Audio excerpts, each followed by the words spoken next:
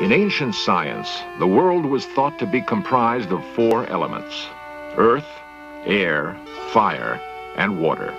Water was and still is considered to be the essence of life itself. But fresh water is not always available to us where and when we need it. Through the centuries, however, certain people have been able to detect its hidden presence by an ability which has yet to be explained. Water witching, divining, dowsing, whatever name it's given, remains one of the most puzzling mysteries of nature.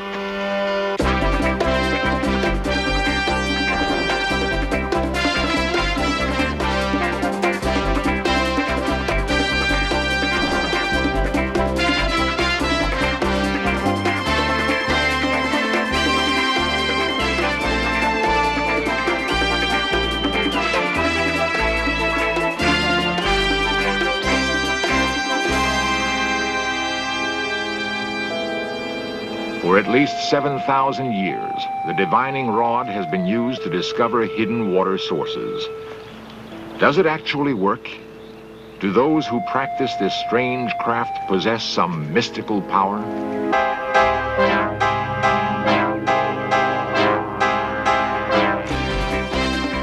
This series presents information based in part on theory and conjecture.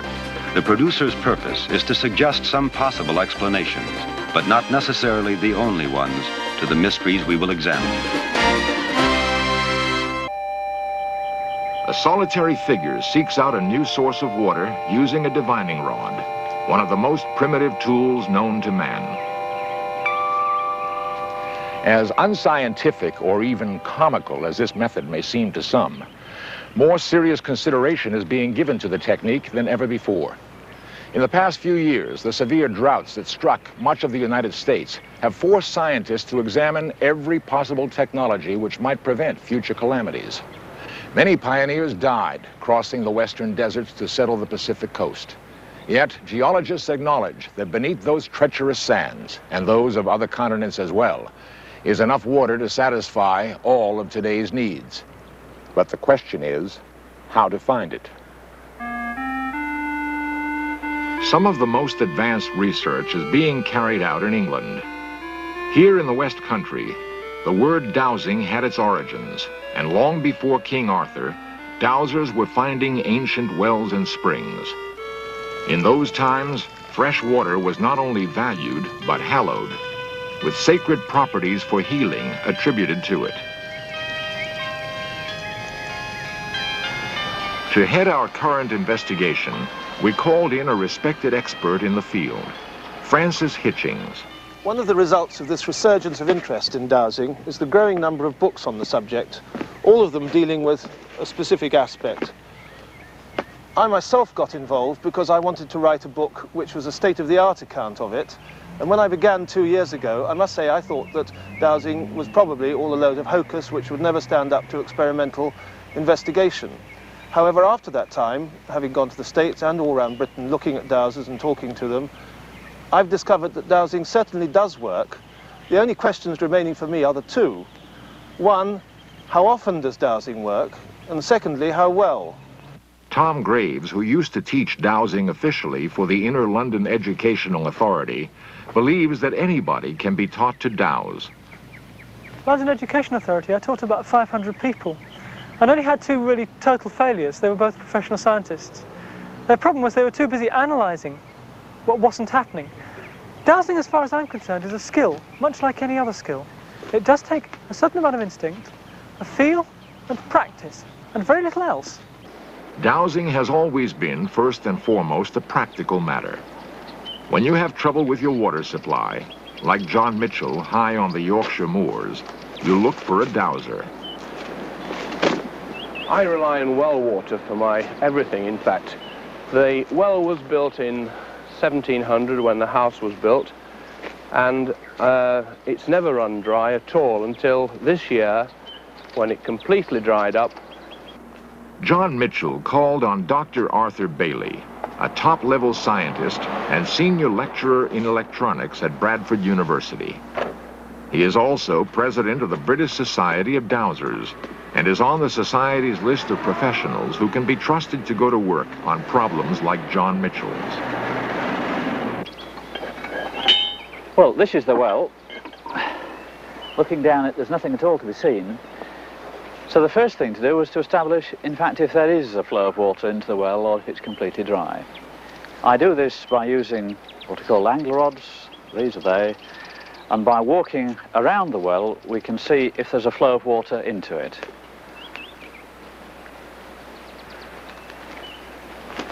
They're starting to move, so I should be on the edge of a flow of water now. In fact, it's quite, it's quite a strong flow. And they then open out again. So the flow of water into that well is about perhaps 18 inches wide. It's a good flow of water, so there is water into the well. The next thing to do is to see which way it's flowing. And if I concentrate on direction of flow, the rods move that way, showing that it's flowing in down in a direction from the house further up the field, down this way, and out towards the quarry. The next thing to do is to see if that water flow is in fact flowing into the well, because if it's too deep, of course, it will miss it completely. So, again, I find the centre line of the stream, and then from there, walk out until the rods cross once more, and that will give me the depth. So starting off from there, still nothing. It's obviously a very deep flow of water. Still nothing. Ah, there we go. That's it.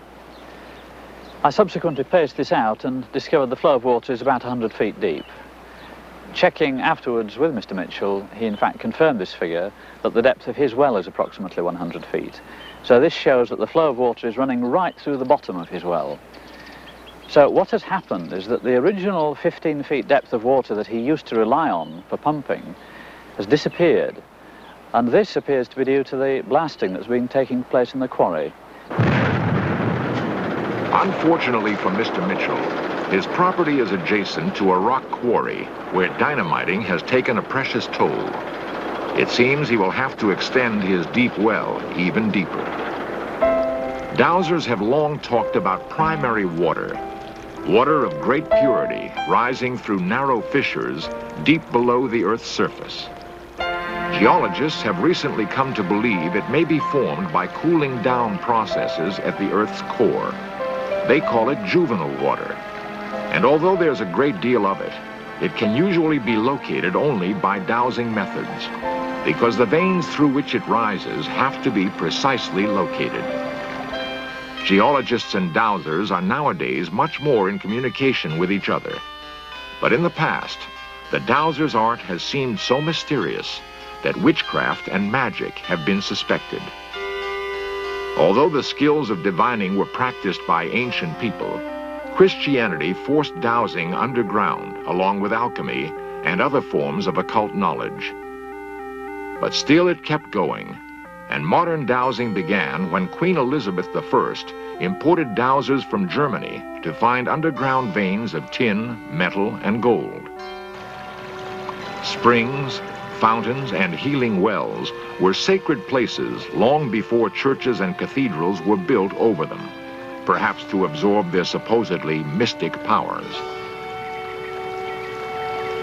So what happens when the rod starts twitching spontaneously in someone's hand?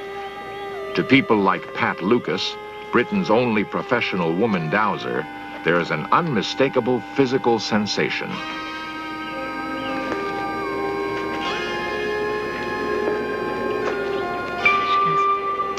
I was taught to dowse by Mr. George, who came from Radnorshire. He was a famous old dowser and has been dead for a number of years now.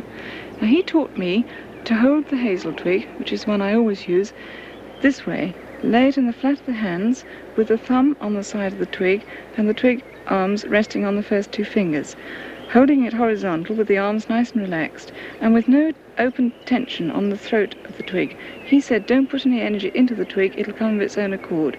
So I know I'm different from a lot of dowsers in this, but I still stick to what he told me. Uh, he told me also to go very slowly and to concentrate on what I was looking for, and this I try to do as well. What I feel is an energy, I can only put it as an energy, which seems to pull right through my body, through my arms, through my legs, my stomach, everything, right through. and I get a pulsing effect here very often, as if my heart races. I think the heartbeat does uh, accelerate quite a bit when you're coming into a, a, a, big body of water, or even a small one. If you cross it enough times, it seems to build up, and, and your heart gets agitated. Uh, I sometimes get a dead thumb, one side or the other, if I keep crossing a stream. The total effect is one of physical exhaustion and physical tiredness, plus uh, obviously mental tiredness from the concentration. But it's entirely natural as far as I'm concerned. It feels as if you've done a jolly hard day's work, and uh, I enjoy it. It appears from Pat Lucas's experience that there is a physiological basis for dowsing. Some kind of energy that comes up from underground streams which dowsers can literally feel. The question remains, however, can modern science find any way of explaining this phenomenon? We're about to attempt an experiment never tried before. In order to determine whether or not a change takes place in the dowser's brain when his response occurs, a new device has been built by a biofeedback expert, John Steele, who calls his equipment a mind mirror. Now on the mind mirror we have four, the four basic different patterns of brain waves. Beta waves over here on both sides represent information processing and alarm reactions. The alpha, which is a slower frequency, represents an open, passive state of awareness, which is the basis of meditation and other related states. The theta waves, which are slower yet, represent inspiration, creativity, and visual imagery, such as, in, as seen as in dreaming. And the delta, which is the slowest waves that we have, we usually expect to see them only in sleeping. We now find in healing and in ESP phenomena, and we would expect to see them also in dowsing, which is a characteristic of the mind reaching out into the unknown. Ah, yes. Basically, good right. hemispheric balance. That's it. On the right and the left side. A lot of strong enough. beta activity. A little bit of alpha flickering yes. over out there. Good. By far the most activity my hands now. up in the beta beginning range. to shake. That's beginning to Begin uh, little spots of alpha beginning to come in, to slightly. which is indicative of It's open passive to hold it. states. Wants to go one way or the other. a lot more alpha. Quite Just pretty strong. touch. Go. Yeah. It anymore. It's gone over. We basically began with, uh, in Pat, this alpha blocking state, which is this pattern right here. Uh, as you can see, there's no alpha right here. We have a lot of beta and a lot of delta, okay? Very calm, passive aware state. Now, after we began to dowse and move towards the water source, a definite change did take place, which is as such. We moved to this pattern over here, where we have the basic configuration again of the alpha blocking, but this time, as you can see, a small alpha spike comes into the middle. Now this alpha spike represents a below the threshold stimulus trying to break into awareness. This is indicative of a, a, what we might call an ESP phenomena starting to come through to consciousness. The alpha represents a very um, open and natural state. Well, that's very reassuring for me, John, because I've always thought it as a very natural thing. Scientifically speaking, some outside event must take place to trigger off these mental and physical reactions. Some signal that says, water is here. Basically, there are two theories about this signal. Either it comes from within the electromagnetic spectrum, with the body acting in some way like a radio receiver, or there's some kind of physical energy involved, not yet known to science. Harry Lovegrove is an electronics engineer who may be on the verge of a breakthrough with the electromagnetic theory. Believing the human body can sense minute changes in microwave heat coming up from the Earth's core, he has developed an artificial way of reproducing this phenomenon by laying down electromagnetic lines. However, before he demonstrated this, an independent dowser was asked to come in and locate an area free from ground disturbance. I'm dowsing across the yard. There's absolutely nothing, nothing here. This area is completely clear. I can feel something coming up. There's something here. Well, that's the main drain. You can see it there. That's running right through the yard this way.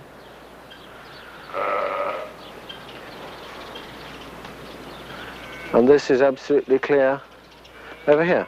Now, to a dowser, the whole of the ground would appear to be as though it was made of uh, plate glass, frosted glass, and heat from below, when it passes pipes or water or anything which can disturb the rays from beneath, will cause a shadow on the surface.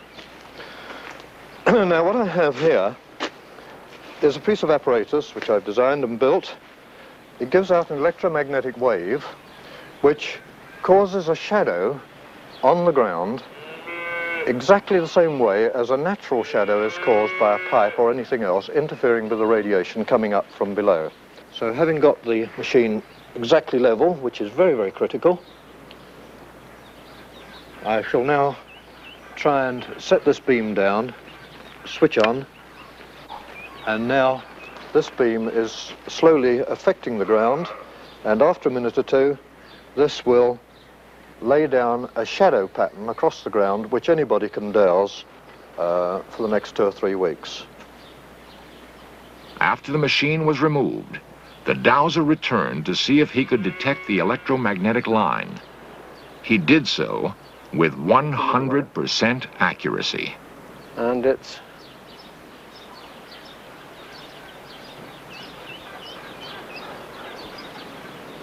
it's on a line through there. Mr. Lovegrove's microwave experiment seems to have been proven out. However, even if subsequent research independently substantiates Harry Lovegrove's theories, it's unlikely that he's come up with the whole answer. Occasionally, a handful of the very best dowsers do things so mysterious that they're quite beyond explanation. Take, for instance, their use of the pendulum. Now, there are a number of substantiated cases of where, using a pendulum like this, dowsers have discovered the exact location of crashed airplanes, missing people, murder victims, stolen goods, and so on. One dowser who's renowned for such feats is Bill Lewis of Abergavenny in South Wales. Over a period of three years now, I've conducted a series of tests with him to find out just how accurate he is and how often he achieves these apparently supernatural results. He's one of the people who believes that ancient standing stones in many parts of the world were built above the crossing of underground streams. Now, I'd heard that a number of these stones existed in New England, but as they're not marked on maps there, I didn't know where to look for them. So Bill Lewis noted down where he thought they'd be, and in the end, he gave me some 55 archaeological features all over the United States for me to go and check up on. And that I did. I went round the States on a round trip, and I took photographs wherever I went, trying to find out whether he was right or whether he was wrong. And if you consider the odds against finding anything when you're dotting a pencil onto maps covering an area of 9,500 square miles, the other side of the Atlantic, the results that Bill Lewis came up with are truly remarkable. Overall, he was 40% accurate and this included finding three hitherto undiscovered standing stones in Vermont, one of them the tallest yet found.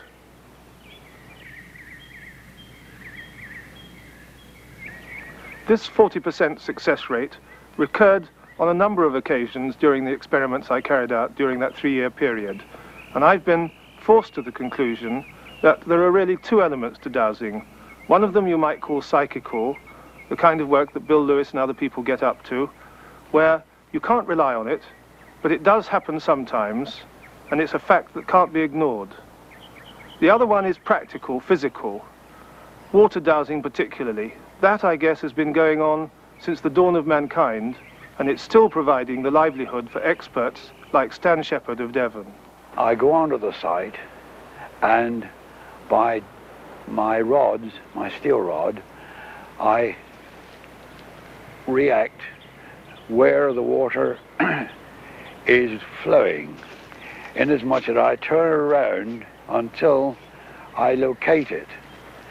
Keep myself turning, I'm eliminating any small streams or difficult subterranean subsurface water. I've got it there. I know my water course is running down in that area. I know then that I've got to go to it to find its nearest edge. I'm getting closer now. I'm feeling something and I've hit it. Now then, I have to go further on and work back to it again. Now I've got to go towards the actual watercourse itself again.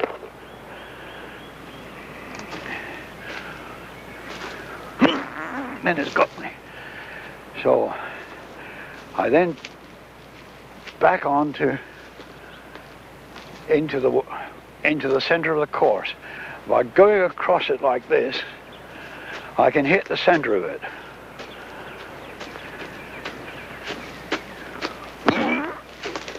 That's right in the center.